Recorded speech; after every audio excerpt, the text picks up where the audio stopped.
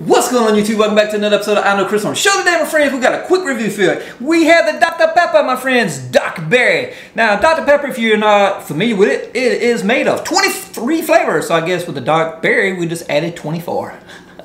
just being funny. it is sponsored by Jurassic World, new Jurassic Park movie coming out. Like we won't see no one of those. Be what the fifth, sixth, I don't know, lost count after the first one. But that's not what we're here to talk about. This is the limited edition Dr. Pepper Dark Berry. Let's give it a taste.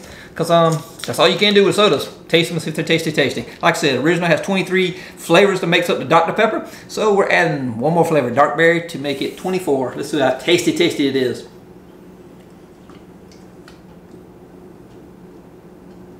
Okay, I can go ahead and tell you. If you had the Dr. Pepper cherry, uh, it's not much difference. Uh, dark berry, I don't know where they're going with that. It doesn't really stand out that much difference than the cherry to me. Um, I still don't, I don't like it as good as I like the original Dr. Pepper. The original Dr. Pepper is a much better drink. If you want to try this, go ahead. It's like a dollar 29 cent I paid at the local Walmart. I don't know what it is around the world, but here in the US, 129. Pick it up.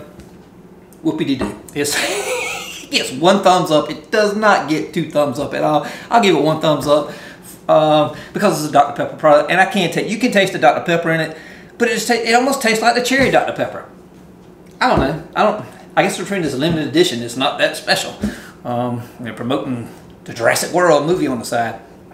Yeah, cool little bottle. They put this out limited edition, I think, what, a Spider-Man movie a couple years ago. And I would say it tasted the same. So nothing's changed. Uh, that's not going to stick around. It's not going to be in your stores very long. Uh, you can go grab, I would go drought. I would not get a 12 pack of this or two liter. Just get you a little 20 ounce bottle. Give it a try. Uh, more than likely, if you're a Dr. Pepper fan, you'll say, ah, it's okay, but you won't, you won't purchase it again. I don't believe so.